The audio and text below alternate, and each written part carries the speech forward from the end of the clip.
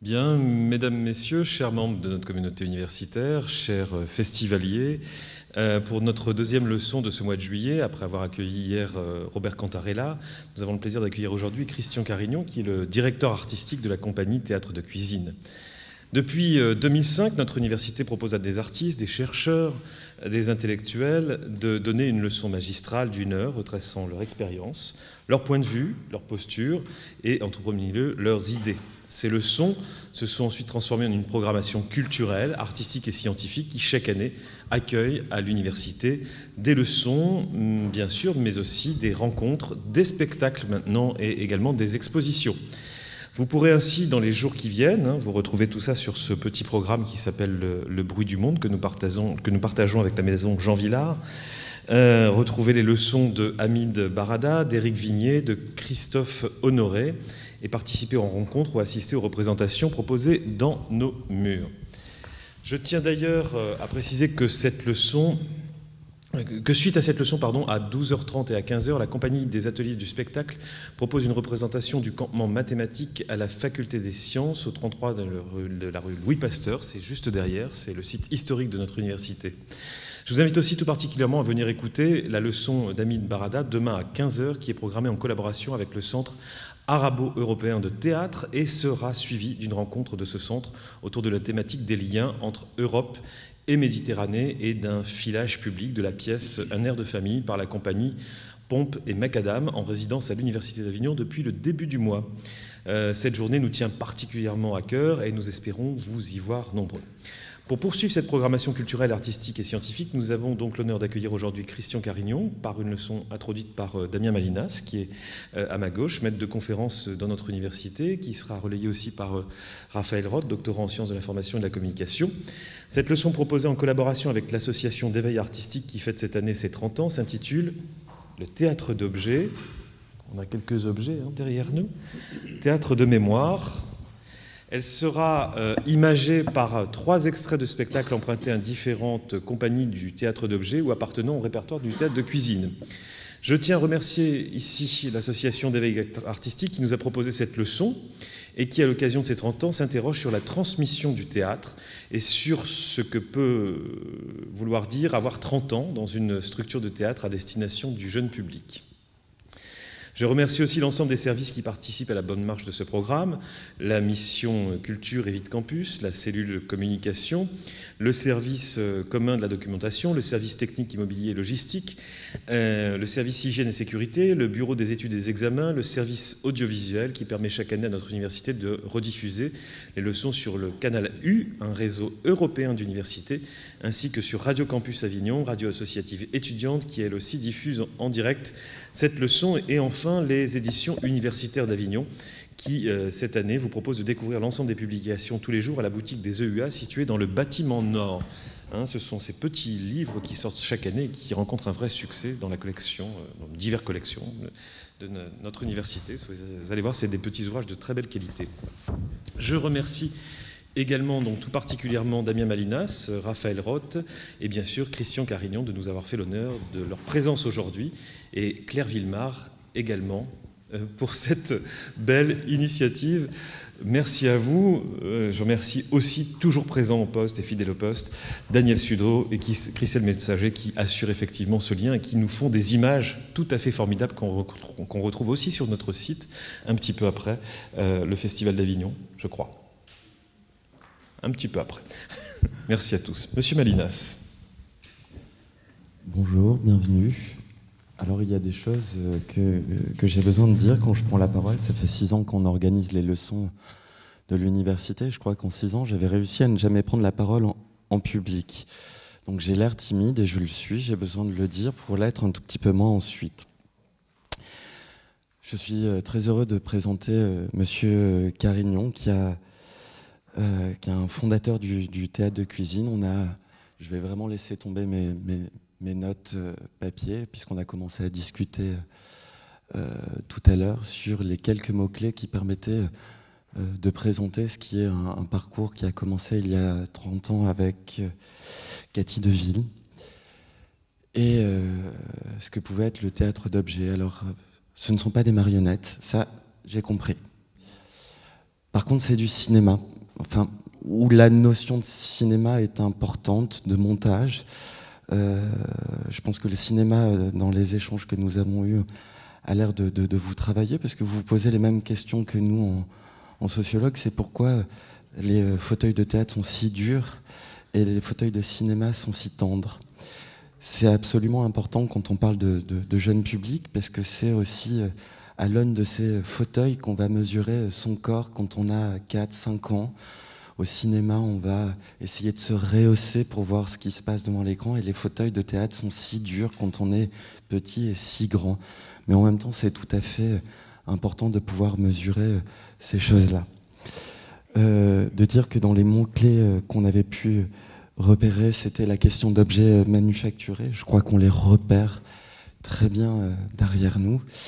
Et je crois que, comme les timides, je vais essayer de ne pas avoir une parole trop longue. Et c'est cette partie euh, que vous allez présenter dans cette leçon qui a été euh, déjà décrite par le président. Je voulais revenir un tout petit peu sur la question du jeune public et du festival euh, d'Avignon à partir, sans faire une commémoration de l'association d'éveil artistique qui a été créée il y a 30 ans et qui a eu certains trajets, mais qui pose la question aussi parfois du succès du jeune public dans le temps, puisque maintenant c'est quasiment un genre intégré au Festival d'Avignon. Tous les lieux ont vers 11h en ce moment, c'est le moment euh, où on va programmer dans les, dans les lieux du, jeune public. On va voir quelque chose qui a été euh, complètement euh, intégré. Moi, il m'a été donné il y a quelques années d'être expert DRAC.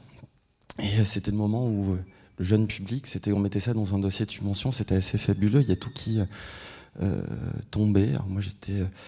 maintenant, c'est passé à d'autres publics. Il y, a, des modes qui qui suivent. Et euh, moi, très bizarrement, j'étais repéré comme travaillant sur les premières fois comme un, anti-jeune public. Et je le dis euh, pourquoi? Parce qu'en fait, euh, je trouvais dommage que tout ce travail commençait très tôt, on l'arrête quand les publics ont 18 ans, puisque moi je suis vice-président culture à l'université, je trouve qu'on fait très peu de choses. Et souvent en France, il y a deux choses qu'on va demander, c'est euh, le travail auprès des jeunes publics. On va lui demander d'être autre chose que ce qu'il est, euh, un investissement qu'on devrait mesurer si euh, les adultes âgés de 18 ans ne vont pas tous au théâtre. On va déclarer l'échec du jeune public, ce qui est absolument ridicule, me semble-t-il, puisque les choses, si on les fait tôt, c'est pour les continuer très longtemps. Donc je me suis réconcilié depuis euh, avec les gens du jeune public. Je ne suis absolument pas contre le jeune public. Je suis euh, pour qu'on continue le travail qui est fait depuis si tôt. Et ça, c'est une chose qui me semble absolument essentielle. Et évidemment, de, remercier l'association et d'éveil artistique de faire ce travail aussi magnifiquement. Je vais maintenant me taire, puisque j'ai déjà tenu mon temps de parole assez largement, et de vous remercier encore, Monsieur Carignon. Voilà. Je, me déplace hein, parce que je suis, je l'ai oublié de le dire, je suis le président de l'Université d'Avignon, mais je ne suis pas un objet, donc je n'entre pas dans le théâtre d'objets. Et, je suis vraiment ravi de vous accueillir, sachant vraiment que les publics du Festival d'Avignon sont tous, tous, tous des jeunes publics. Hein. On peut aussi le considérer comme ça.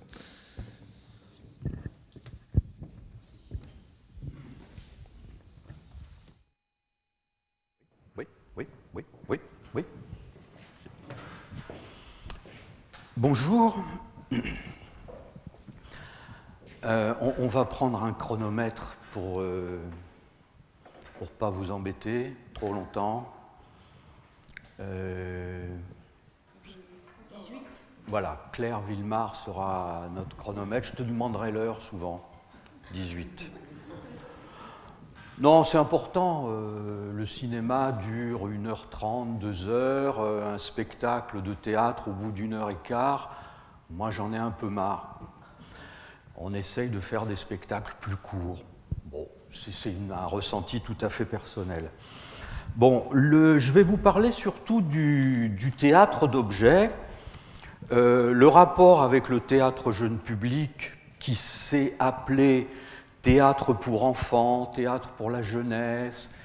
Et ce, ce sont ce genre de mots qui n'arrivent pas à trouver leur vocabulaire précisément, jeune public. Je suis sûr que dans cinq ans, ça s'appellera plus le théâtre jeune public. Euh, moi, des fois, j'ai pensé théâtre aux armées. Euh, parce que théâtre scolaire, c'est pas théâtre jeune public. Mais je ne parle pas du théâtre jeune public, je parle du théâtre d'objet. On est bien d'accord. Alors le théâtre d'objet, euh, je crois que c'est un théâtre de la première fois aussi, pour des raisons très simples, c'est que nos objets manufacturés, bah, tout le monde les connaît. Voilà, les gens qui sont loin, bah, tant pis pour elles. C'est pas une conférence, donc vous n'êtes pas auditrice, c'est une conférence spectacle, donc vous avez à vous positionner, est-ce que je suis une auditrice ou une spectatrice ou les deux en même temps? Donc si vous êtes loin, je vais vous parler comme à des auditrices, mais je vais parler aux gens qui sont prêts comme à des spectateurs et des spectatrices. Voilà. Euh, spectacle un petit peu intimiste, le théâtre d'objets, voilà. Quand on a ça devant les yeux, euh, bah, il ne faut pas être trop loin. Mais en même temps, en même temps, vu que ce sont des objets manufacturés, euh, je pose le, palmier deux secondes sur le tabouret, je l'enlève, vous avez vu le palmier, même très loin. Parce que ce sont des objets reconnaissables par tous. Donc la vision au théâtre d'objets, oui, elle est nécessaire, oui, la proximité est nécessaire, mais en même temps, si on ne distingue pas absolument tous les détails, c'est pas grave, vous l'avez imprimé dans la mémoire. Je vais commencer par vous montrer un petit extrait de spectacle, et puis après, on en discutera. Euh, théâtre d'objets, ça a beaucoup à voir avec l'espace. Euh, l'espace se transforme tout le temps. Alors je vais délimiter mon espace de jeu. Voilà, rouge, parce que rideau rouge de théâtre. Hein. Les gens là-haut, vous verrez bien. Moi, je vais inclure euh, le bruit du monde dedans. Euh, parce que ça a un rapport avec le bruit du monde, le théâtre d'objets. Puis je vais, oui, oui, oui. je vais inclure un petit peu le tableau noir parce que c'est quand même une conférence. Voilà. Non, c'est important. Euh, L'université s'intéresse de plus en plus au théâtre d'objets ça va, ça bouge, ça, gigote bien hein, le micro, oui. D'accord. Voilà. Donc disons que ça c'est un espace de jeu. J'ai le monde, j'ai l'université, j'ai les objets, euh, j'ai presque tout. Manque un peu de lumière, mais enfin on dira que vous voyez bien. Euh, premier extrait de spectacle. Je vais vous raconter comment ça s'est passé Comment l'idée de, cet extrait de spectacle m'est venue C'était des vacances à la mer avec euh, Cathy Deville, donc Cathy Deville, co-directrice, je le précise, du théâtre de cuisine. On est deux. Le théâtre de cuisine existe depuis 33 ans, donc avoir 30 ans au théâtre, on a plus que 30 ans, on a 33 ans. Voilà. Alors, euh, bah, disons qu'il y a environ 30 ans, euh, vacances. Vacances. Alors, une année, c'est à la mer, une année, c'est à la montagne. Euh, je déteste la mer. C'est comme ça. La mer, je m'ennuie. Je suis allongé sur ma serviette. Je gratouille machinalement dans le sable comme ça et j'essaye de, faire passer le temps. Euh, sauf que le problème, c'est que quand j'ai trop chaud, je vais au bord de l'eau, mais l'eau, je suis resté tellement à cuire euh, sur ma serviette que l'eau me paraît terriblement froide. Donc je n'arrive pas à y rentrer. Je n'arrive pas à participer au bonheur collectif euh, de la baignade. Et je gratouille dans le sable, comme ça. Et mm, en gratouillant, c'était en, Atlantique, donc marée, je découvre dans le sable, enfoui par la marée, un petit camion. Un petit camion, celui-ci, Donc il a 30 ans, euh, plastique et métal embouti, euh, petit camion rouge, et moi, les yeux au niveau du sable, comme ça, le camion posé devant moi, le sable qui s'en va à l'infini, je ne vois plus un jouet perdu par un enfant, je vois un 33 tonnes, parce que j'ai les yeux très près, et je vois autour un désert, le sable. Là me vient, dans cette période d'ennui, j'adore m'ennuyer parce que c'est les moments où me viennent des idées. Quand je vais au théâtre, j'ai toujours un petit bout de papier dans la poche, un petit bout de crayon, et il m'arrive, je ne dis pas à chaque fois parce que ça serait injuste pour euh, Avignon, il m'arrive de... Mais oui, lumière, bleu, euh, un objet par-ci par-là, j'ai une idée. Alors je la note dans le noir. Et puis, euh, quand je sors du, spectacle, je relis. Des fois, je me déchiffre, des fois pas. Mais je sais qu'une idée est passée. Alors, camion, désert, 33 tonnes. Euh, je me dis, comment fabriquer un désert au théâtre? Alors, deux solutions la cour d'honneur, on fait rentrer 18 camions de sable, on répand ça sur euh, le plateau, on plante des palmiers géants, euh, ou alors deuxième solution, valise de vacances, association d'idées, sable. Euh, il y a peut-être moyen de faire quelque chose de plus économique. Je crois que ça a de l'importance, l'économie au théâtre d'objets, dans le théâtre d'objets. Bon, alors la valise de vacances, je l'ai légèrement modifiée pour que le poids en sable ne soit pas euh, excessif, parce que vous avez compris que nous avions le cadre du désert qui était là. Alors, le cinéma, je vais peut-être commencer déjà à en parler, le cinéma, mon père, les grands boulevards à Paris, dans les années 50-60. Euh, euh, oui, c'est difficile de moduler la voix. Euh, on va voir, il m'emmène voir Le salaire de la peur. Film en noir et blanc, Clouseau, Yves Montand, Charles Vanel. Un un, théâtre, non, un, film euh, épique, épique, quelque chose où il y a de l'héroïsme, il y a très peu de femmes, il y a des hommes absolument costauds, quelque chose d'une image qui me, qui me bouleverse, moi enfant, et qui me bouleverse d'autant plus que mon père m'emmène voir ce film deux fois. Et on l'a revu à la télé après. Euh, je me dis, tiens, il y a peut-être quelque chose de mon père qui est dans ce film. Euh, donc, théâtre d'objets, théâtre de la mémoire. La première mémoire, euh, bah, c'est celle de mon père. alors, qu'est-ce qu'on trouve dans un désert? Si vous partez en camion, vous avez vu le film, une pelle une pelle de désensablement, c'est la moindre des choses. Voilà, l'idée de la coulisse aussi, dans le théâtre d'objets. Euh, généralement, les gens du théâtre d'objets, je crois que c'est une constante, euh, ne sortent pas de scène. La coulisse, elle est là, elle est là, elle est là, la coulisse. C'est en même temps l'air de jeu et c'est en même temps la coulisse.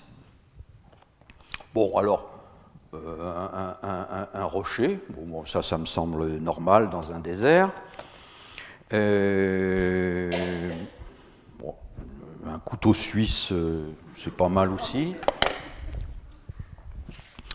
Le palmier, évidemment, ça c'est le but du voyage. Si on rencontre pas, alors là, je vous parle de films noir et blanc, mon père, mais euh, années 80, c'est quand même Les Aventuriers de l'Arche perdue. Et là, c'est en technicolore. Euh, les aventuriers de l'Arche perdue, c'est aussi quelque chose de très épique.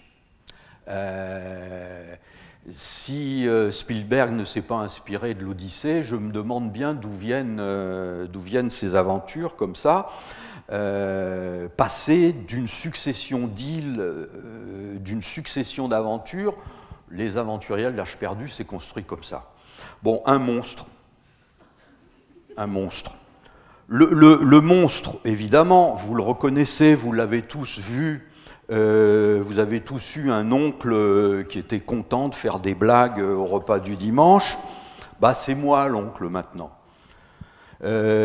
C'est une araignée sauteuse, mais si je la mets à côté du camion, évidemment, elle change de dimension. Changer de dimension semble important aussi. Comment l'espace, par le regard par votre propre regard et par aussi le regard du comédien, euh, fluctue comme ça entre l'échelle 1 du comédien et l'échelle 1 cinquantième du camion. Une bougie, ça c'est pour la fin du voyage. Et je vérifie si j'ai gardé le briquet d'Hélène, il est là. Bon, et puis évidemment le sable.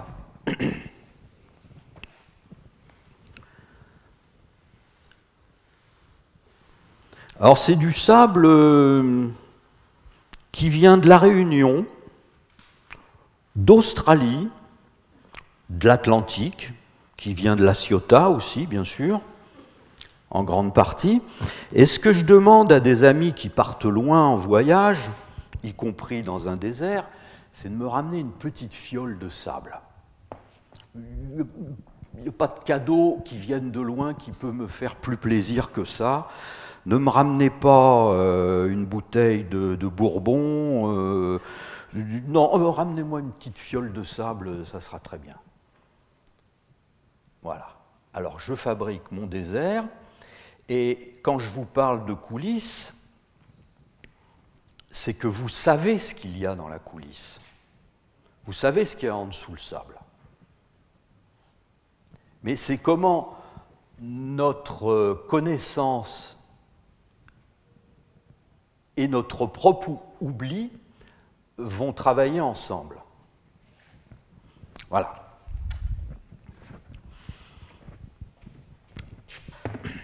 Alors, le spectacle, le bout de spectacle, qui est extrait de catalogue de voyage, commençait comme ça. La valise fermée. Peut-être qu'il va falloir baisser le micro là, à ce moment-là. Brum, brum, brum. Budam, budam, budam, budam, budam, budam. Brum,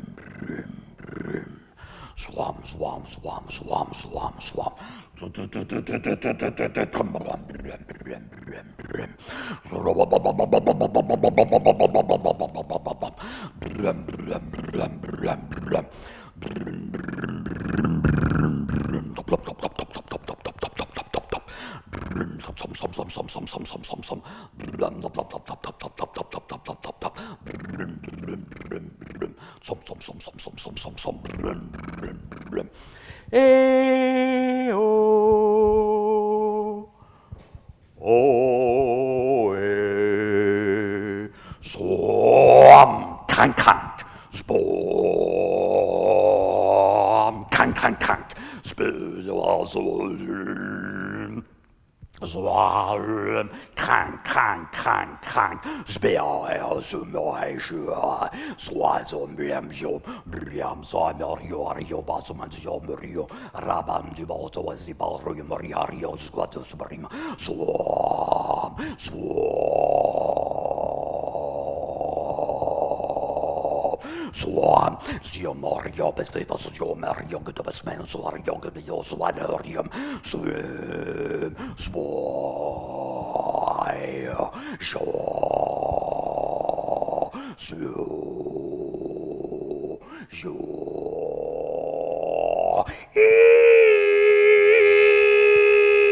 Shoof. Swarm, swarm, swarm, swarm. Brim, brim, brim, brim, brim. Swarm. spadam, spadam, spadam, spadam. Rim, rim, rim, rim, rim, rim.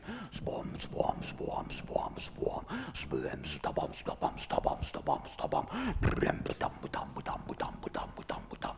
Brim, brim, brim. Spom, stabam, spom, stom, stom, stom, stom. Spom, spom, spom, spom, spom, spom, spom. store skrumskjør, krank, krank, spjør, krank, krank, spøj og sjør, mor, sjør, sår, sjør, spjør, sjør, smjør, sjør, sjør, ringe mot oss, smjør, sjør, smjør, smjør, smjør, smjør,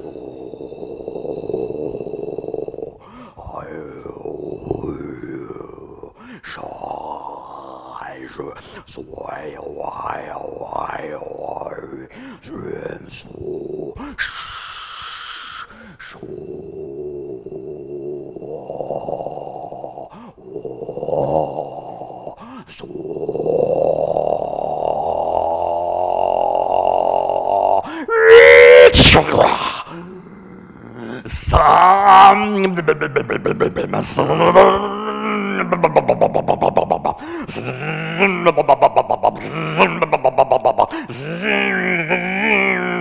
budam budam budam budam brüben brüben brüben brüben brüben soham soham soham ta za za za za za za za za za za şak şak şak şak şak şak bam su bam su bam su bam su bam su bam su bam brem brem brem brem brem tım tım kakı kakı şaçı batsı şaçı brem brem brem tabam tabam tabam tabam brem brem brem brem suma tama su bas bas bas bas bas bas bas bas bas bas bas bas brem brem sam şa şa şa şa şa şa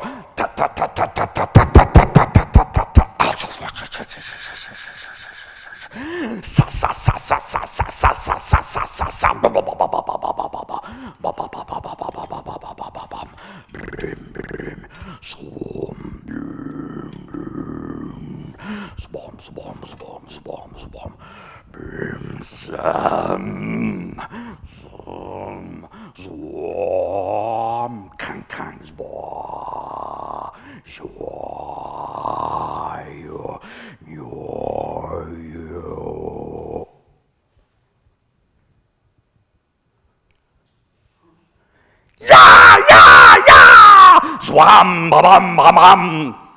Ja, ja! Sram, sram, sram. Ja, ja, ja! Sram, bam, bam, bam, bam. Ja, ja, ja, ja, ja! Sram, bam, bam, bam. Ja, ja, ja, ja, ja, ja, ja, ja, ja! Sam, just, is, as, oh, ugh. Is,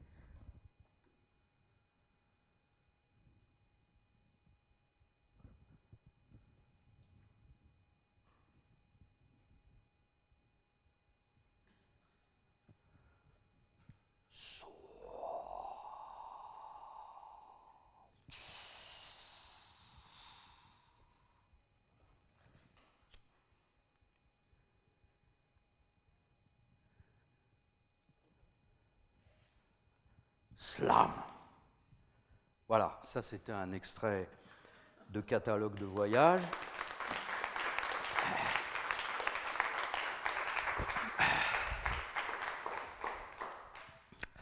Alors,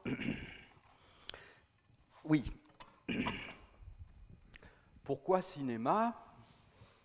Ben, Écoutez, euh, on est formé avant tout, notre génération, euh, bah, par la bande dessinée, par le cinéma. Avant, avant, bien avant le théâtre, J'en profite pour dire que la première fois que j'ai été au théâtre, c'était au TNP, et je voyais des tout petits bons hommes et des petites bonnes femmes avec des habits euh, absolument magnifiques. Je les entendais bien, mais je ne les voyais pas. Et j'ai appris, mais bien plus tard, que le petit bonhomme au centre s'appelait Jean Villard, mais je ne l'ai pas su tout de suite. Voilà, théâtre populaire. Pourquoi populaire? Euh, Théâtre de la première fois, il n'y a pas besoin de décryptage, de règles, de... Si, bien sûr, elles y sont. Mais on les a acquises avant, d'autre part. Par exemple, par le cinéma. Le cinéma, c'est l'art de la rupture. Euh, c'est l'art du montage. Euh, la bande cinéma, la bande, la pellicule des années 1895, euh, 1910 était extrêmement fragile, elle cassait souvent, et le montage est presque un accident. on filme et puis la bande casse et on la recolle. Et on se rend compte qu'en la recollant, euh, on a la percussion d'un plan large et d'un plan serré. Voilà. Ou d'un lieu et d'un autre lieu. Ou d'un intérieur et d'un extérieur. Et on se rend compte que cet accident euh, qui est presque hasardeux, on peut en faire quelque chose d'artistique. C'est-à-dire qu'on peut en faire une façon de raconter des histoires euh, qui est relativement, qui, est neuve. Enfin, moi, je, l'affirme. Je n'ai pas suffisamment de connaissances euh, universitaires, mais je pense que l'art de la rupture, c'est le cinéma qui l'amène. Plan large, plan serré, par exemple, vous avez euh, une succession de plans larges et de plans serrés dans l'histoire du désert. Je manipule le camion, je suis en plan large. Je suis ici, je suis en plan serré. Euh, euh, ça me semble complètement important, cette histoire de cinéma. Les, gens de la bande dessinée euh, l'utilisent, évidemment, la bande dessinée, elle naît en même temps que le cinéma, qui provoque qui, je ne sais pas exactement, mais peu importe, l'époque fait que on arrive à un moment où la rupture, euh, le montage euh, sont nécessaires.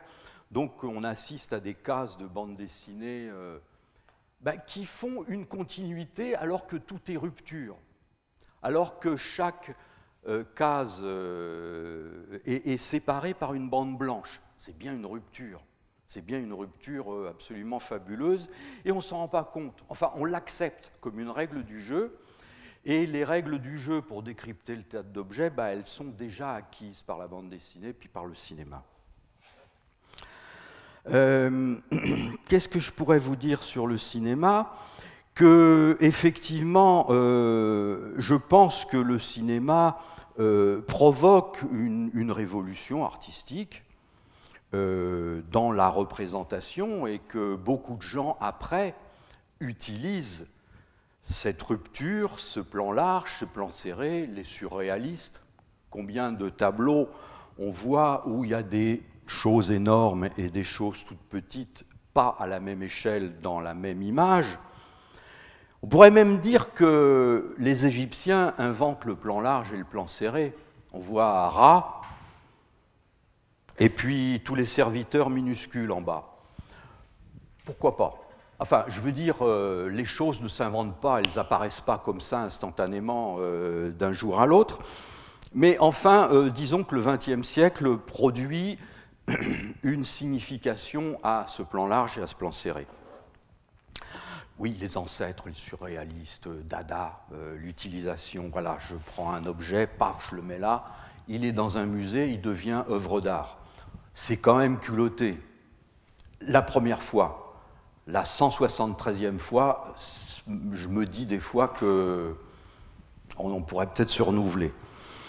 Euh, oui, les ancêtres, euh, bah, je pense que les ancêtres en littérature, on les retrouve aussi. Euh, moi, Pérec, je suis tombé dedans. la vie, mode d'emploi, par exemple. Les choses, oui, parce que les choses, Euh, c'est en 60, je sais pas, 65, 63, je ne sais plus quand est-ce que ça a été écrit. les choses, c'est en plein milieu de la société de consommation et on commence à se poser des questions sur qu'est-ce que c'est que le bonheur. Est-ce que c'est l'accumulation? Est-ce que c'est la possession? Euh, je pense que Pérec est un des premiers, euh, bon, il y a des sociologues, hein, euh, vous, vous plus que, moi là-dessus, mais Abraham Molls, par exemple, micropsychologie de la vie quotidienne, ça vous dit quelque chose Bon, c'est des ancêtres, hein, il, y en, a d'autres, moi je ne les connais pas, les nouveaux, je suis désolé. Euh, mais enfin, bon, euh, Baudrillard, hein, le système des objets, c'est la tarte à la crème, mais euh, il faut l'avoir mangé avant de dire que c'est une tarte à la crème. Il faut l'avoir lu, je veux dire.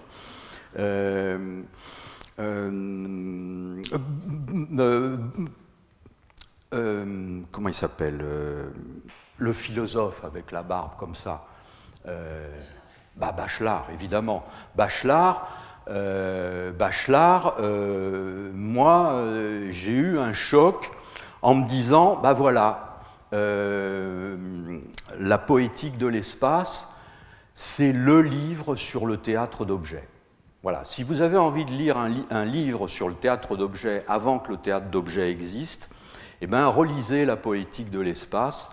Moi, j'étais sidéré de voir qu'en 58 ou 59, euh, il y avait une telle profondeur avant qu'on le sache, avant de, nous-mêmes découvrir cette profondeur. Euh, je vous cite des noms comme ça, mais euh, ça me semble important. écoutez, bon, les objets manufacturés, le plan large, le plan serré, ça c'est une première clé. Hein. c'est une clé, c'est une clé qui me semble un déplacement un déplacement de l'objet, un, déplacement de l'espace, une transformation de l'espace. Parce que ça, au cinéma, c'est très clair. Plan large, pouf, rupture, plan serré. C'est non simultané, c'est consécutif. Là, vous avez du simultané, c'est-à-dire que je réutilise quelque chose du cinéma, mais je vous oblige d'une certaine façon à vous-même être la caméra à choisir le plan large ou le plan serré. C'est le comédien qui va donner une, intention à l'objet ou à lui-même qui va faire que vous allez être l'objectif de la caméra. Euh, je vous montre, bah, maintenant que vous avez euh, ces deux petites règles, transformation de l'espace, plan large, plan serré, objet manufacturé. Pourquoi objet manufacturé? Parce que voilà, on n'a pas besoin de faire un long discours sur euh, l'objet fabriqué pour le théâtre.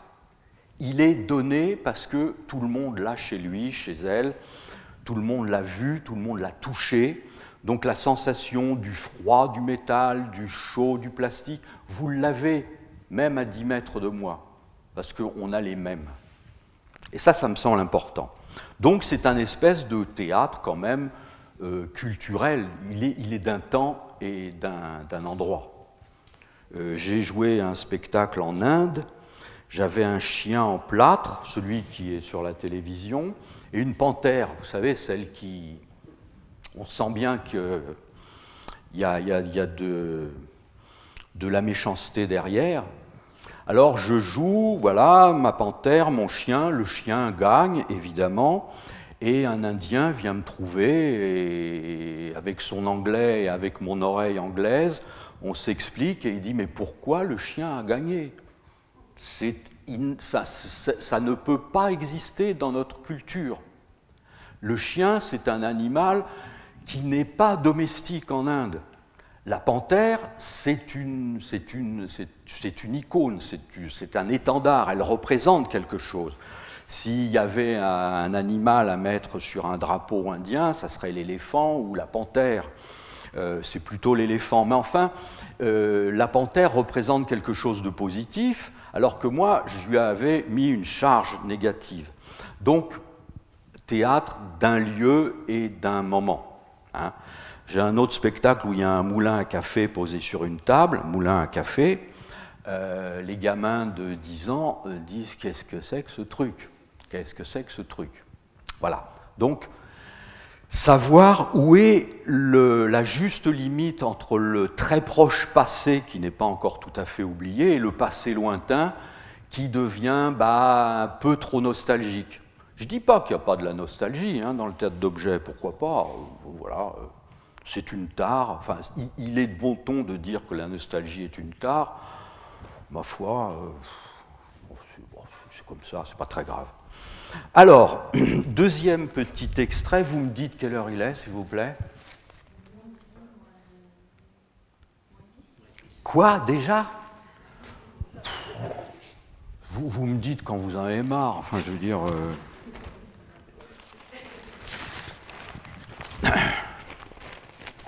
je sais que vous avez des choses à voir. Bon. Alors, deuxième euh, petit morceau. C'est extrait du même spectacle, catalogue de voyage.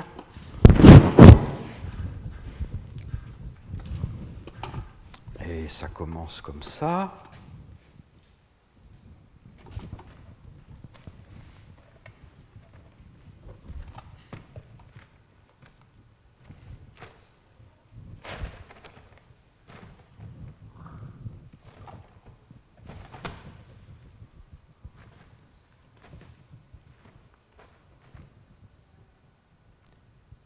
Yeah.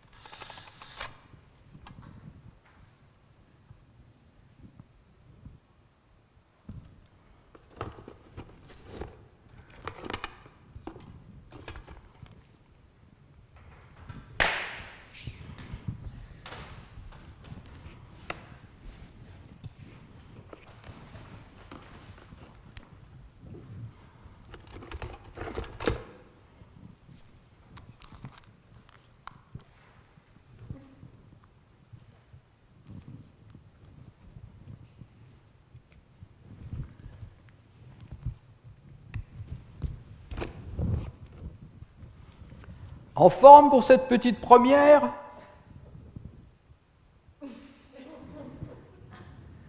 Tu fais bien attention.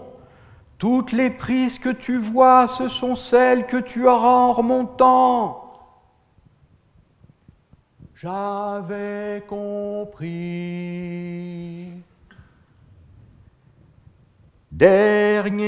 relais.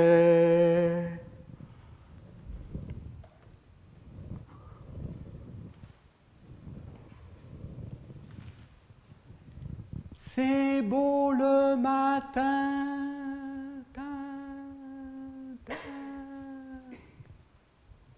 Oui, oui.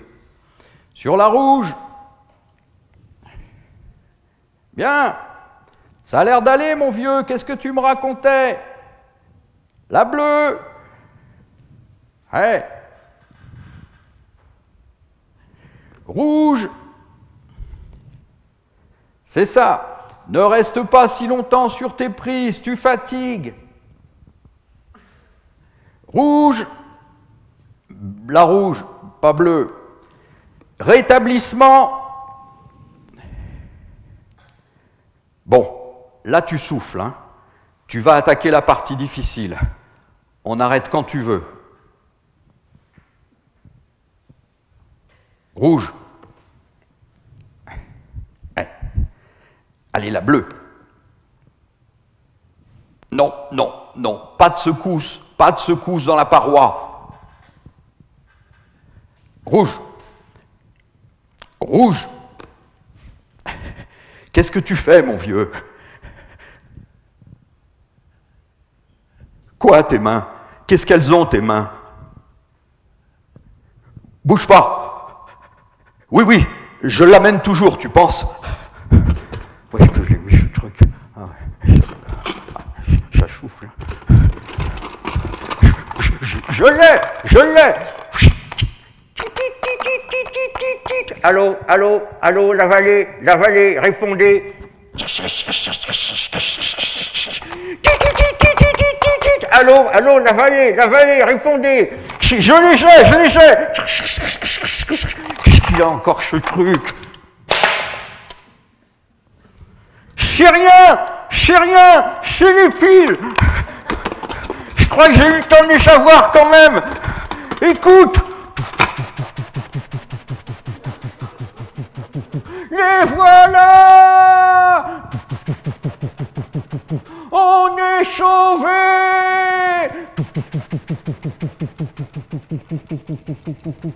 Oh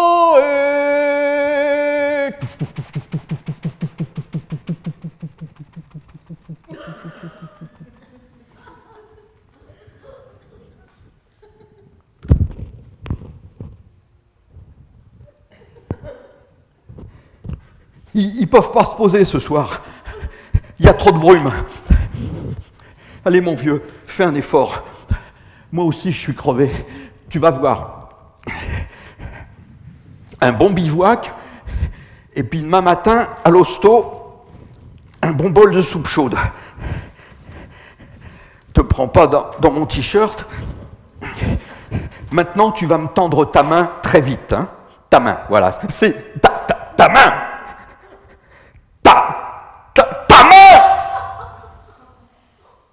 Voilà, deuxième extrait. Pas de rémission.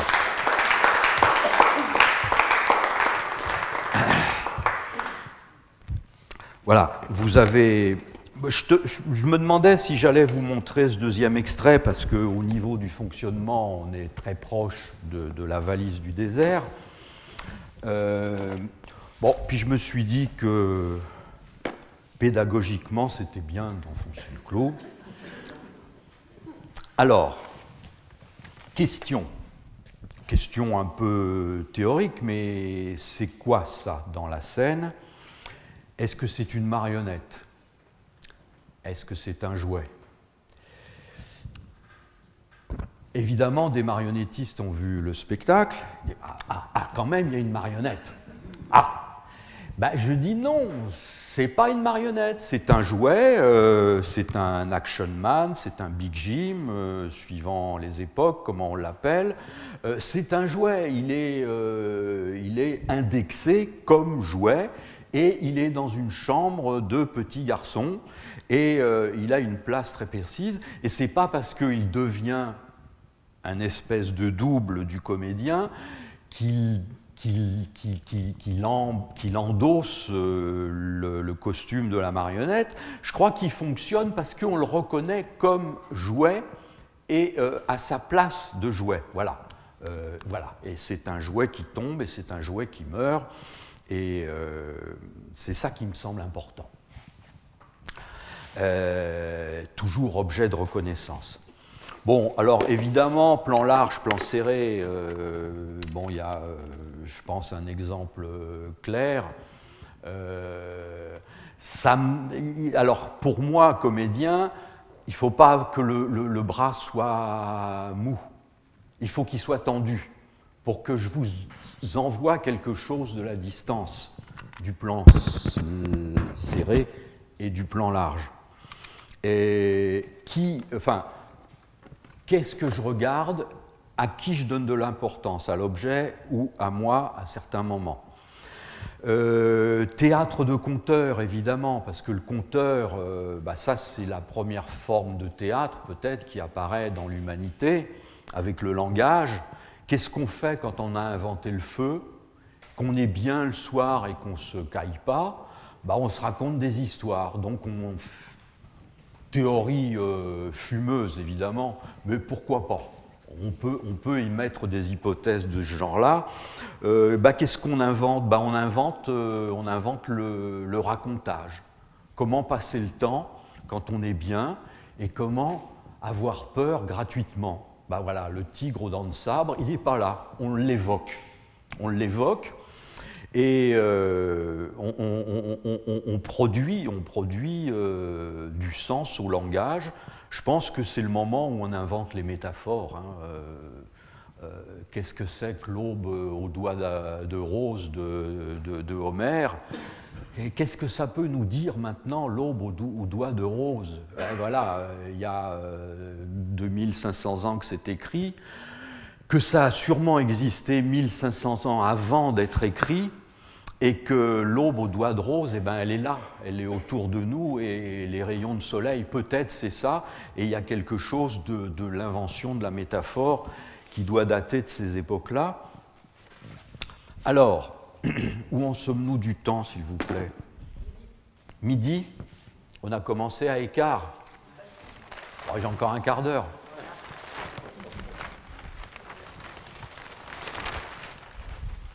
Euh, pourquoi je vous parle de la métaphore? Je, vais, vous montrer un truc. Bah non, je ne peux pas sortir.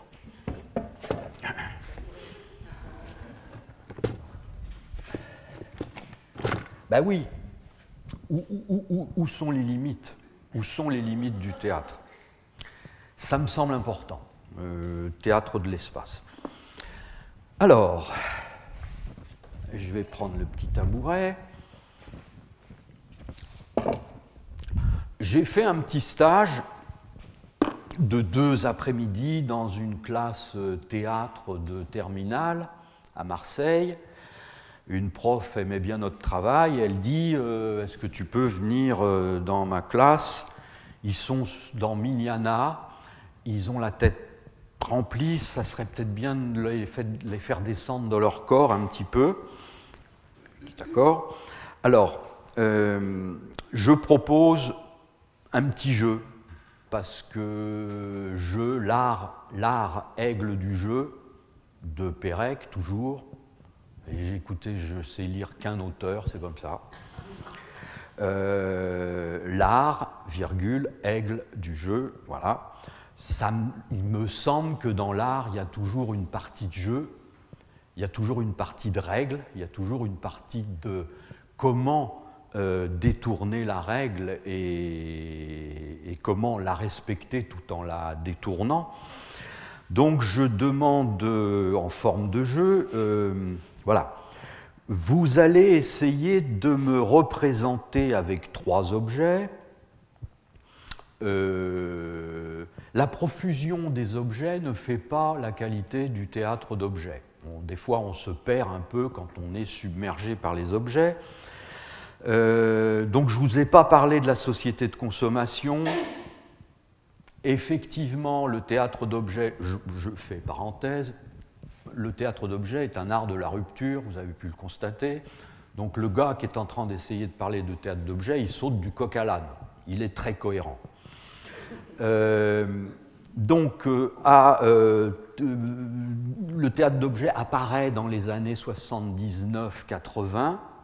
On peut le dater assez précisément. C'est pas qu'on peut dater le théâtre d'objets, je pense qu'il vient d'avant, mais on peut dater le moment où apparaît le nom donc si on donne un nom à quelque chose d'un peu brumeux, c'est qu'on a envie que cette chose brumeuse prenne des bords un peu nets. Voilà. C'est du théâtre d'objets, je vais faire euh, euh, quelque chose d'horrible, et ça, c'est plus du théâtre d'objets. Donc, où sont les limites? Alors, je propose donc à ces jeunes gens, euh, voilà, trois objets. Prenons un conte que tout le monde connaît, Le Petit Pousset, où il y a des histoires d'échelle, grand, petit, l'ogre, le petit pousset, petit pousset, pouce, ogre, oh, hein, euh, essayez de me représenter la poursuite dans la forêt, euh, l'ogre poursuivant le petit pousset. Euh, alors j'ouvre ma valise d'objets que j'ai amené. Euh, les gens se lèvent, ils choisissent un truc ou deux, voilà, ils font leur truc. Les gens passent, on en discute, il y a des choses intéressantes. Et puis une jeune fille assise euh, au fond de la classe, ostensiblement cachée derrière son, son, son miniana, inventaire. Inventaire, on n'est pas loin non plus de, quelque chose qui nous concerne. Elle dit J'ai pas de temps à perdre avec ces gamineries. Bah oui, gaminerie, euh, conte, euh, conte pour enfants. Euh, un, conte, c'est un objet de reconnaissance. Le petit chalet que vous avez tous connu, bah oui, c'est un objet de reconnaissance. Je le mets devant vos yeux et j'imagine que dans la tête de chacune des personnes qui sont là, il y a une image très forte et très personnelle qui va venir se coller sur ce que fait euh, le comédien sur le plateau. Euh, alors, quel... voilà. Donc cette jeune fille dit non, je, suis désolé, mais le petit pousset euh, à côté de Miliana, ça fait pas le poids. J'apprends mon texte de toute façon, moi je suis là euh, deux après-midi, j'insiste pas, c'est pas mon boulot.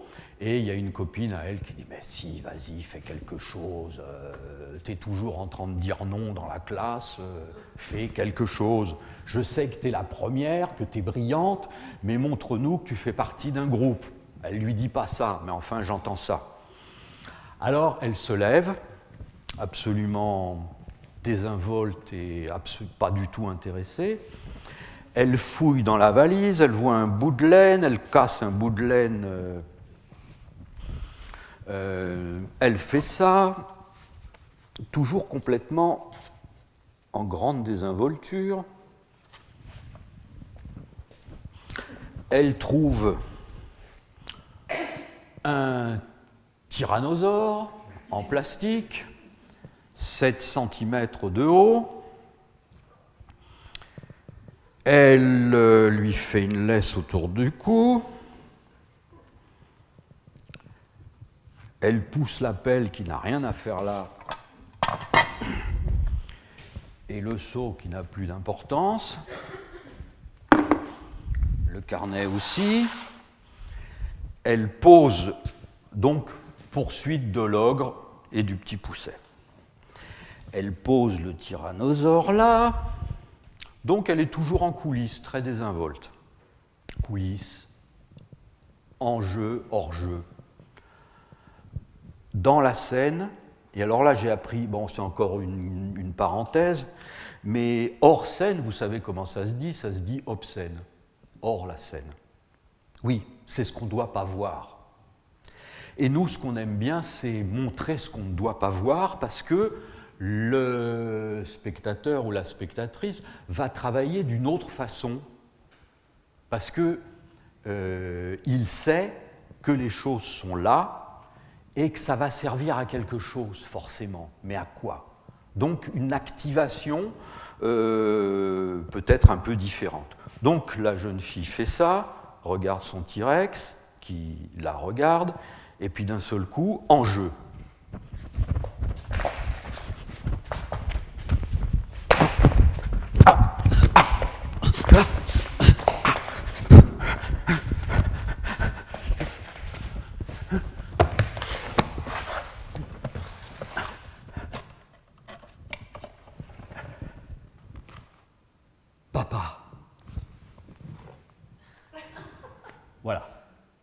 Ça a duré quoi 20 secondes 25 secondes? C'était un chalet qui s'ouvrait. Celui-là s'ouvre pas. Donc elle sort les ciseaux du chalet. Voilà. Alors peut-être que je vais arrêter là-dessus. Euh, je sais pas, je vous montrerai un autre truc ou pas d'autre truc. Euh. mais cette, cette, partie me semble assez importante parce que je vous parle du théâtre d'objets, théâtre de l'espace qui se modifie, donc plan large, plan serré, pour faire, pour euh, image. Je vous parle d'objets de mémoire. grand-mère, tante, télévision, euh, bulgum, le vous savez, cette odeur de bulgum dans la salle à manger qui a cuit au soleil. Bah, tout ça, ces odeurs font partie d'un fond commun. Et bah, la petite histoire, l'infraordinaire, toujours Pérec, il n'a que celui-là à la bouche.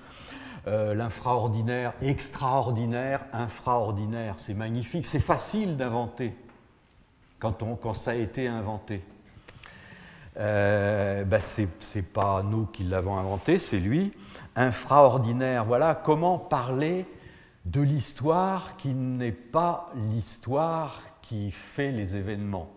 Et pourtant, qu'est-ce que, qu'est-ce que nous sommes faits de rien du tout et, comment ce rien du tout, il, il réclame à grands cris ou à petits cris timides euh, d'exister aussi.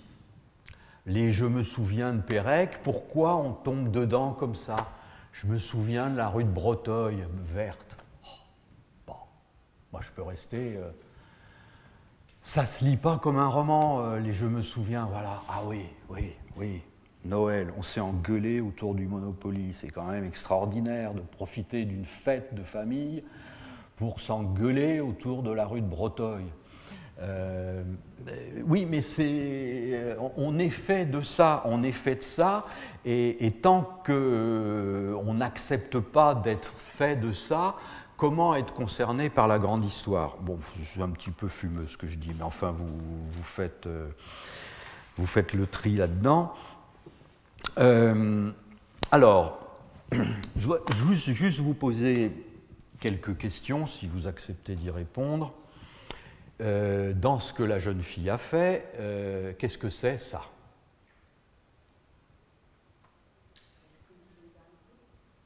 C'est? Entre l'ogre et le petit pousset Ah Ah bah les bras m'en tombent. Non, non, mais, euh, non, mais je trouve ça très très beau. Je trouve ça très très beau. Oui, l'ogre, le père, euh, le petit pousset, le fils, pourquoi pas Quelque chose comme ça?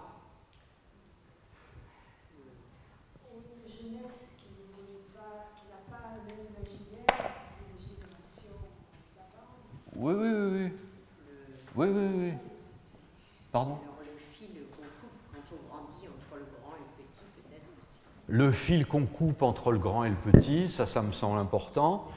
Euh, c'est même, même, plus que ça, mais ce n'est pas moi qui ai décrypté ça, c'est la classe entière. Et quelqu'un, la jeune fille qui lui a dit de faire quelque chose, dit Mais c'est bourré de métaphores. Et je dis Mais voilà, l'essence du théâtre d'objets est dans cette séquence minuscule. Euh, oui, alors, euh, le lien, le lien positif ou négatif, la rupture du lien, et quelqu'un dit Ben oui, qu'est-ce que, qu'est-ce que fait le père? Il coupe le cordon ombilical. Pourquoi pas? C'est le lien de danger. Enfin, je veux dire, on est dans une succession de métaphores. Et alors, ce que fait la jeune fille, c'est qu'elle sort les ciseaux du, chalet et elle fait papa. Le ciseau est rouge, elle le tient verticalement. Papa comme ça, ça n'a pas le même sens. Chaque geste a une importance folle. C'est montrer.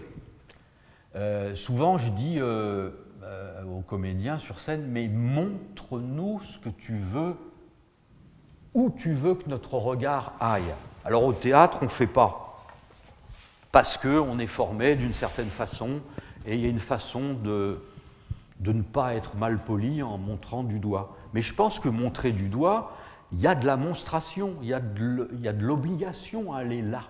Voilà, c'est un théâtre de signes et de lignes droites et de perpendiculaires, euh, si je peux me permettre. Pas, que le théâtre d'objets, le théâtre euh, masqué, euh, le théâtre de mime, le théâtre de clown, tout ça, on fait partie d'une technologie du théâtre avec des règles qu'évidemment on utilise. Bon, alors, pourquoi l'ogre, pourquoi est-ce qu'elle a choisi l'ogre avec un tyrannosaure en plastique? Plusieurs choses ont été lancées dans la classe. Alors, c'est parce que c'est le monstre absolu. Pardon? Ouais. Le monde ancien est là, les ogres n'existent plus, c'était un temps lointain où les ogres existaient encore. Bon, euh, l'archéologie, moi j'aime bien ce mot-là, enfin il nous porte beaucoup. Euh, la trace, euh, le gigantesque du tyrannosaure, on le voit dans Jurassic Park, encore.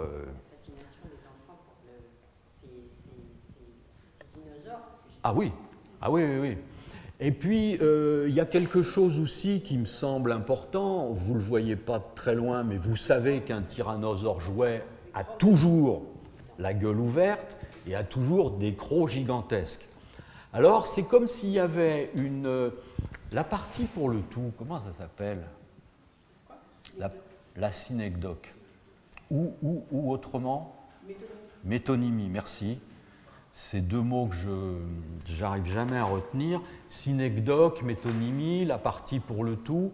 Pourquoi pas la mâchoire dévoratrice du tyrannosaure et la mâchoire dévoratrice de l'ogre? Pourquoi pas? Encore des choses, synecdoque, métonymie. Euh, on a encore un autre type de, rhétorique, rhétorique hein, donc euh, du théâtre rhétorique, c'est que l'histoire, c'est le petit pousset qui est poussé par l'ogre. Il fuit devant lui. Là, le comédien, la comédienne, tire le tyrannosaure. Une espèce de métalepse, une inversion du temps, une inversion de la cause et de l'effet. Certainement autre chose, mais enfin une succession de, figures rhétoriques propres au langage qu'on retrouve mis en scène dans, dans, les objets. Donc je tenais à vous montrer ça parce que ça me semble très important, et je vous demande l'heure s'il vous plaît. Écart. Bon, voilà, bah, c'est bien.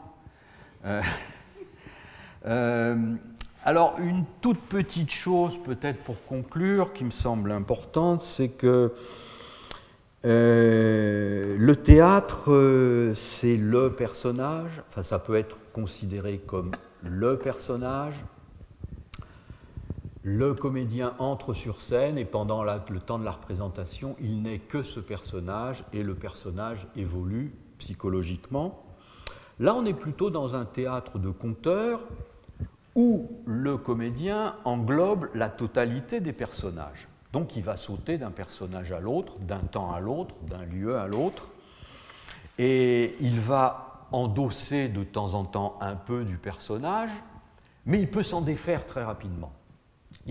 Ce n'est pas tellement qu'il n'interprète pas, c'est pas vrai, il interprète mais il est capable de s'en détacher et d'instantanément retourner dans la peau d'un autre personnage. Ça, ça me semble très important. Euh, c'est comme si la personne qui était sur scène était la monteuse de sa propre histoire. Le comédien de théâtre d'objets est un comédien, ça, me semble important, mais aussi il accepte d'être le monteur et de, de, passer d'une action à l'autre. Ça, ça me semble très important. Ce qui fait que la couleur du théâtre d'objets, et d'autres théâtres aussi, euh, n'est pas un théâtre où on pose un personnage et on le fait arriver jusqu'à la fin. Je pense que là, il y a une grande différence. Et puis, midi 17, euh, c'est le bon temps. Je vous remercie.